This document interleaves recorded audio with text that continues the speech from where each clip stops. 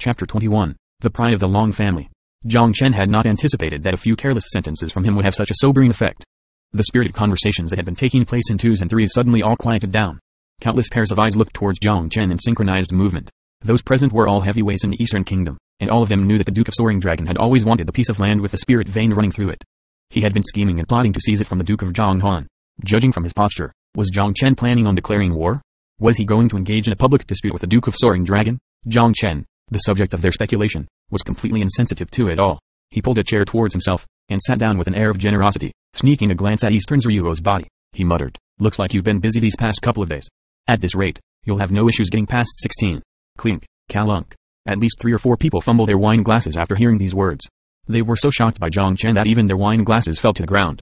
The minority that had not known Jiang Chen already could not contain themselves and started surreptitiously quizzing their neighbors. Which family did this young duke hail from? This was simply too brave. This was the king's most beloved daughter, after all. And beside the princess sat elder Princess Gu, one whose face was already starting to sink down in disapproval. Seeing that Princess Gu's face had sunken low enough to draw water, those who wanted to watch the show did not dare to brazenly cast their gazes over here. Everyone knew that Princess Gu was the martial Dao genius of the Eastern Kingdom. She was an exceedingly influential person in the Eastern Kingdom who held true power. And not to mention, just by her status as the main organizer of the Hidden Dragon trials, which Duke at the banquet would dare to insult her. Yet Jiang Chen seemed to be completely oblivious and had no idea that he was sitting in the most prominent area, and gave no indication that he realized he had become the center of attention. Jiang Chen had basically observed everyone with side vision after he sat down. What surprised him was that there were a few familiar faces. The third hall master of the Hall of Healing for instance, the Duke of Tanshui who had slapped himself for another. It was apparent that the Duke of Tanshui was behaving today. He kept to himself. If he had been as before, he would have surely led the offense to make life difficult for the Jiang family. However, whether it was the Duke of Tanshui or his heir, they were both oddly quiet today. The Duke of Tanshui was obviously still haunted by what had happened at the Zhonghan Manor. Although he did not take any action himself, it still gladdened his heart to see others picking on the Jiang family. These fellows did not know anything of the agreement between Jiang Chen and Eastern Lu, and thus did not have any reservations in bullying the Jiang father-son duo. Indeed, a few duchy heirs walked over in tandem just as Jiang Chen wanted to ask Eastern Ryuo how she had been lately. The leader of the band was the heir to the White Tiger Dukedom, Bei Zanyun. Jiang Chen, do you know what date is? Bei Zanyun's face was a study in indignation. Today is Miss Long Juxu's 16th birthday. How dare you say it's a filthy place? I command you to apologize. And I, Hong Tantong, order you to apologize to the host and other guests in the name of the Vermilion Bird Dukedom. Hong Tantong had departed from his usual modes of inciting others to pick the fight, and actually took the initiative today. It was apparent that Hong Tantong had no desire to let Bei Zanyun claim all the glory for fawning on Long Juxu in a setting like this. These two came from an impressive background. The strength of the 108 dukes in the Eastern Kingdom varied accordingly, but the top four dukes had always been firmly ranked in the top four. No matter what change in the kingdom, their position had never changed.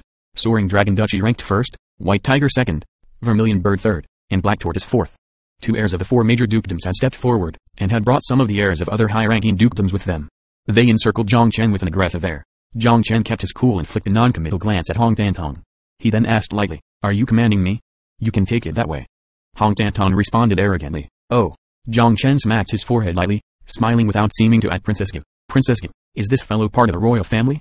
Or have I remembered incorrectly? Do dukes have the power to command each other? I seem to remember that only the royal family has the power to issue commands to dukes. He looked at Hong Tantong lazily, laughing. The heir to Vermilion Bird is it? When did you change your surname to Eastern? Why didn't you make a big proclamation out of such a big event? You should have notified us earlier so we could be mentally prepared. Hong Tantong, who had occupied the aggressive high ground a moment ago, was suddenly at a loss for words by this simple question. He became as transfixed as a statue. As for you, Bei Zanyun is it? If I remember correctly, this is the third time that you've provoked me. I didn't want to lower myself to your level before, but today, what do you mean by standing here and hollering your head off if you claim that this isn't a filthy place? Are you blind? Do you not see her highness sitting there? Do you know anything about noble etiquette?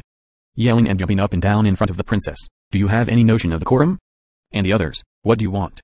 Accompanying these two idiots and making a spectacle of yourself? Are you trying to tell everyone present that there is no longer a need to conceal your mutinous hearts? Jiang Chen's torrent of words caused the crowd of youths to be tongue-tied, red in the face, and minds to go completely blank. They wanted to find the words to retort, but had absolutely no idea what to say. Bei Zanyun was trembling in his rage. You, Jiang Chen. Your mother. You're spitting blood from your mouth.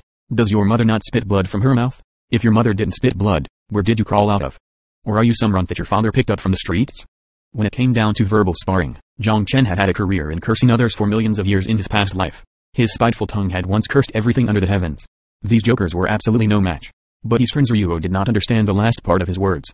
She tugged on his sleeve with a face full of naive innocence. Brother Jiang Chen, what does his mother spitting blood have to do with him being picked up from the streets? A. It was Jiang Chen's turn to be halted in his tracks as he stammered, this question isn't suitable for children. You'll understand when you go and get married. Princess Gu on the sidelines was also perplexed. She thought that Jiang Chen was cursing a bit randomly and had no idea what he meant. But after his explanation, she suddenly thought of the scenes of childbirth. Was that not literally spitting blood? His gaze sharpened with killing intent as her thoughts wandered down this path. This damnable Jiang Chen. He was sure to pollute Ruo if she spent more time with him. She decided to vent her rage on Bei Zanyan and Hong Tantong. Those two were still dumbly standing there like blockheads. She slammed her hand down on the table. You two, what do you have to say for yourself? Do you still retain any of your noble decency? The atmosphere abruptly worsened as Princess Gu lost her temper. This was no ordinary individual. Many times, Princess Gu's attitude had represented the king's attitude. The representative hearty laugh of the Duke of Soaring Dragon traveled in from the main hall at this awkward moment. Ladies and gentlemen, please calm down. It's a rare occasion that we have so many present, and it happens to be my youngest daughter's 16th birthday. I've invited everyone here to 1. Celebrate my daughter's birthday and 2. Share the news of a great event of joyous tidings with everyone. Oh, Your Grace, what happy event is this? You have kept a tight seal on the news. Yes, Your Grace, out with it. We can't wait. Haha, let's not be in such a rush everyone. It appears that I've hidden the news too well. I shall do that no longer. To be honest, this matter is also an issue of great joy for the Eastern Kingdom, and is a momentous occasion for the kingdom. My daughter Su, due to her Azure Phoenix constitution from birth, has attracted the attention of a hidden master and been picked as his direct disciple. The master will personally come to welcome my daughter to the Purple Sun sect after the Hidden Dragon trials. What? Purple Sun sect? That's the head sect of the four great sects of the 16 countries. All hidden masters are the equivalent of a prominent heavyweight within a sect. Who would have thought that Long Juxu would have such good fortune? Congratulations indeed. An Azure Phoenix constitution even sounds extraordinary. This kind of joyous occasion should be celebrated through all the lands. Felicitations to your grace. The future of Soaring Dragon Duchy is indeed one of unlimited wealth and endless potential. Congratulations. In that moment, all sorts of greasy remarks poured in like the unending river waters. Long Zhaofeng was in fine fettle. He had long since planned for today. He was completely unsurprised by the situation. To be honest, the heavyweight of the Purple Sun sect had decided upon this master and disciple relationship the moment my daughter was born. But, I'm a low-key person and thought Juxu's growth in childhood. I didn't want to overly draw attention to her. But now that my daughter is 16 years old, this news naturally doesn't need to be concealed anymore. Long Zhaofeng's words were the epitome of pride. In actuality, how could this be called low-key? If this was called low-key, then nothing under the heavens could be labeled high profile. And, it was not that Long Zhaofeng had avoided speaking the truth, it was that he did not dare speak of it. When Long Juxu had been born, a strange phenomenon struck the sky.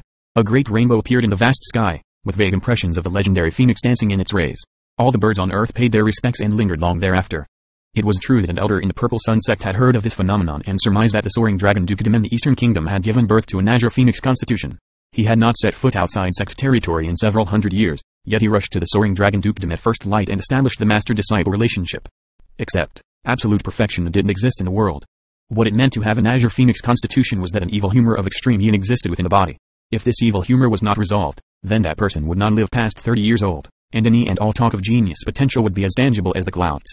Long Zhaofeng had been racking his brains and trying all possible methods over the past couple of days and had finally dispelled the evil humor within Long Juxu. This way, there was no longer any restrictions on the Azure Phoenix constitution. At the same time, the Purple Sun sect elder had sent word that Long Juxu would be officially initiated into the Purple Sun sect after half a year. Long Zhaofeng's first thought after receiving such confirmation was to proclaim it far and wide. There was no way that Long Zhaofeng would pass up such a prime opportunity to flaunt his family. To that regard, almost all the dukes of importance, ministers, and royal officials, had received an invitation from the Long household. Even the high and mighty Princess Gu had been no exception. At that moment, Long Juxu was standing next to her father like a proud phoenix. She sparkled such that no one dared look at her directly. Modesty and pride suffused her eyes. Even to a hidden power like the Purple Sun sect, an Azure Phoenix constitution was still an exceedingly rare talent. She had sufficient reason to be proud. Bei Zanyan and Hong Tantong's gazes on Long Juxu were full of desire and adoration. Jiang Chen finally understood what the Duke of Soaring Dragon had meant by an event of joyous tidings in his invitation. Azure Phoenix Constitution? Jiang Chen searched his memories, remembering that all sorts of body constitutions existed in the common world of martial Dao. But on the path of martial Dao, no matter how great the potential, the practitioner would still not make it far if an appropriate disposition did not go hand in hand with the potential. There were many examples of that, too. But at the end of the day, even something like the Azure Phoenix Constitution did not amount to much in Jiang Chen's eyes. His past self had seen too many top talents. How many of those had actually successfully developed and matured?